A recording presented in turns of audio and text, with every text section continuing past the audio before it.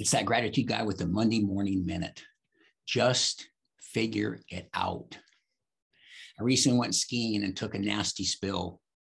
As I was trying to right myself, I was thinking how nice it would be if there was just somebody there to help me. After contemplating my dilemma for a few minutes, I thought to myself, just figure it out. Once I was upright again and back on track on the slopes, it did occur to me that there are a lot of times in your life when there is no one there to help you out of a jam. That's when you have to just figure it out.